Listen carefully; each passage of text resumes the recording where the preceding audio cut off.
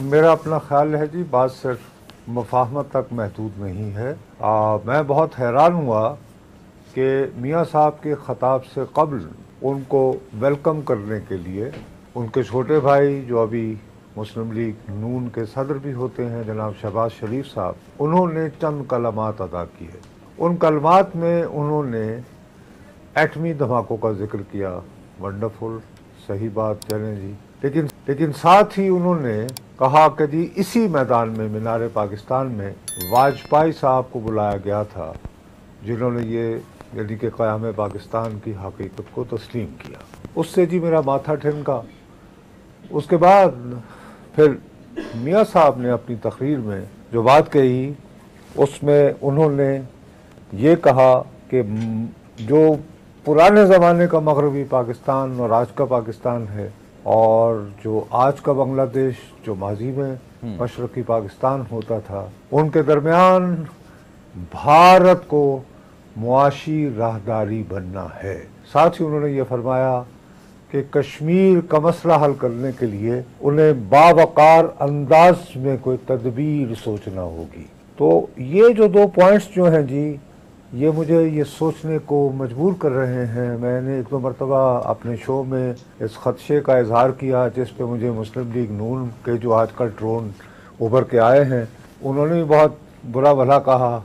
मेरे अपने साथी एंकर अदनान हैदर साहब ने भी काफ़ी उस पर मेरे साथ काफ़ी क्लास ली थी मेरी। लेकिन मैं ये समझता हूँ कि नवाज़ शरीफ साहब अपना सियासी सफ़र लेगसी के तौर पर वहीं से शुरू करना चाहते हैं। जहाँ कारगिल की जंग की वजह से ख़त्म हुआ था। ये हम्म। मेरा ख्याल है अच्छा अदनान तो ये मामला जो है आई एम सॉरी सर यानी लेट मी फिनिश जी, जी जी सर कि ये आई एम सॉरी मैं ये भूल गया। मेरा अपना ये ख्याल है कि आप खाली इंटरनल मफाहमत ही मियाँ साहब का मकसद नहीं है बल्कि शायद गेम ज़्यादा बड़ी है हम्म। और इसकी इंटरनेशनल डिमेंशन एग्जैक्टली नुसर साहब सर आपके ख्याल में ये इनफ था पावर शो इतना बंदा इकट्ठा कर लिया कि एक मैसेज एक ठोक बजा के बताया जाए कि हाँ जी आज भी दमखम है मुस्लिम लीग नून के अंदर रिवाइवल हो सकता है? या बिल्कुल हम ये कहें कि जी एक बिल्कुल ही जो है वो एक फ्लॉप शो था? आपको याद होगा भैया मैंने दोपहर में जब आपने मुझे टेलीफोन पे लिया था हम्म। उस वक्त भी मैं ये बजिद था कि भाई इतनी ये कोई मुस्लिम लीग नून जो है ये कल जमात तो नहीं बनी है ना सर हम्म। ये एक कदीम जमात है और ख़ुद शरीफ फैमिली जो है वो अर्ली एटीज़ में इकतदार में है भाई और मीनार पाकिस्तान में इतने अरसे के बाद आ रहे हैं और अब ये इंतखब की भी आमद आमद है जनवरी में। और ज़ाहिर है कि बेतहाशा लोग भैया टिकटों के उम्मीदवार होंगे। तो ये कहना कि वो एक रिस्पेक्टेबल और इम्प्रेसिव क्राउड नहीं जमा कर पाएँगे। मेरा अपना ख्याल है ये एक अहमकाना बात थी जो भी ये दावा कर रहा था। मुझे कभी भी इस बारे में शुभ नहीं था। मुझे वैसे भी कितने बंदे थे पे वक्साया करने का भाई साहब बिल्कुल शौक नहीं है। मैं आपसे दोबारा अर्ज़ कर रहा हूँ कि मैं आज जो तकरीर की है मियाँ साहब ने, उससे मैं चौंक गया हूँ। मेरी दानिश में मैं दोबारा कह रहा हूँ कि सिलसिला वहीं से शुरू हो रहा है, जहाँ वाजपेयी की आमद पे की बात कारगिल पे टूटा था।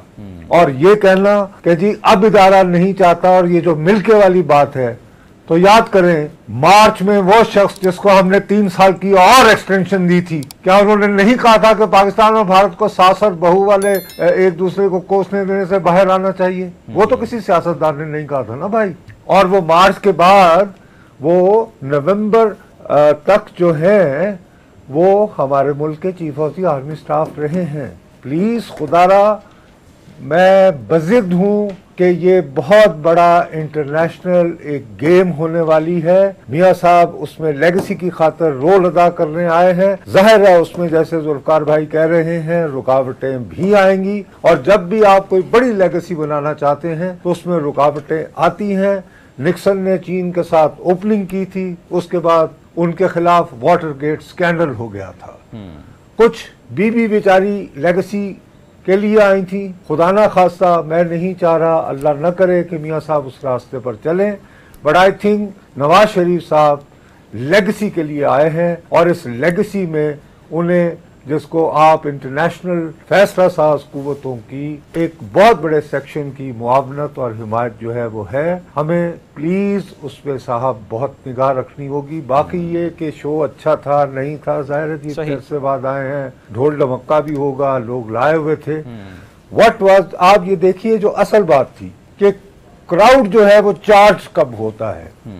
क्राउड सबसे पहले चार्ज उस वक्त होता है जब वो एक मरतबा नाम लेते हैं उन साहब का जो अभी जेल में है फिर कहते हैं कि मैं उनका नाम नहीं लेना चाहता।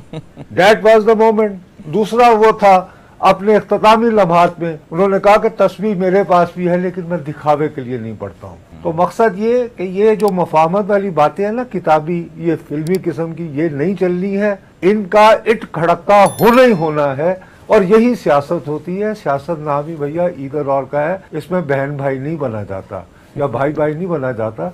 इसमें ये तख्त की लड़ाई है।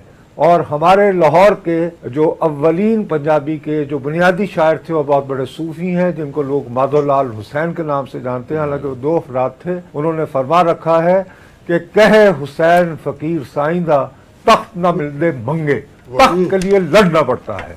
और ये लड़ाई लड़े बगैर उन्हें तख्त मियाँ साहब को नहीं मिलेगा। नासिर साहब, सर, अगर एक शख्स कॉम्प्रोमाइज होकर आ रहा है तो फिर वो लड़ाई क्या लड़ेगा? वो तो आपने भी तस्वीर लगा दी, कबूतर की, फाख्ता की, हाथ में जो नवाज़ शरीफ ने उठाया हुआ आपने ये लिखा कि जी, मुकम्मल मुफाहमत का पैगाम जो है वो आज चला गया है। तो सर, फिर वो जो बातें थी कि जी, हम एहतसाब करेंगे तो कॉम्प्रोमाइज होकर आप आ रहे हैं ना? कॉम्प्रोमाइज इंसान जो है वो कैसे चीज़ों को ठीक कर सकता है? लड़ेगा कैसे? सलमान, बात यह है कि कंप्रोमाइज अगर आप जुमलों में कहना चाहते हैं, बड़ा अच्छा लगता है, खूबसूरत लगता है। अगर आप जैसे उनका दुआ दिल से मांगो।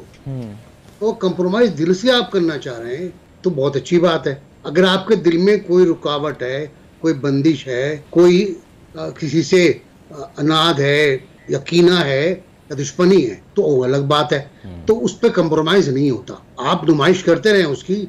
और देखिए रिकॉर्ड रिकॉर्ड क्या कहता है? हम ज़ाहिर है तारीख तालब में हम सब लोग। कि हर तीन साल के बाद जब भी नवाज़ शरीफ आए कोई ना कोई पंगा हो गया है। कोई ना कोई झगड़ा हो गया है तो या तो तीन साल का इंतज़ार करें आप इस कबूतर के लिए कि कबूतर उड़ा या नहीं उड़ा या रुक जाए या फिर ये तय कर लें कि हमने आगे बढ़ना है तरक्की करनी है और कब करनी है कि जब इंतबात होंगे ये ऐसे नहीं हो जाएगा। ये हल्फ नहीं उठाया है अभी तक इन्होंने। अभी तक इंतबात के नतज क्या होंगे? क्या उसके बाद ये वो सब कुछ कर पाएँगे जो ये सोच रहे हैं? क्या ये टू थर्ड मेजोरिटी लेंगे? मेरा ख्याल है ऐसा कहीं पर नहीं हो सकता। अब मुमकिन नहीं है। वो ज़माना ही ख़त्म हो गया। टू थर्ड वाला जब ट्वेंटी परसेंट एक्स्ट्रा हो गया था। तो ये सब सूरत हाल है इसमें अभी इंतखाबात होने दें। उसमें क्या बयानी आता है? किस तरह शोर मचता है? देखें बुनियादी तौर पर नवाज़ शरीफ साहब के दिल में अभी भी बहुत कुछ है। वरना वो गालिब को इस्तेमाल नहीं करते।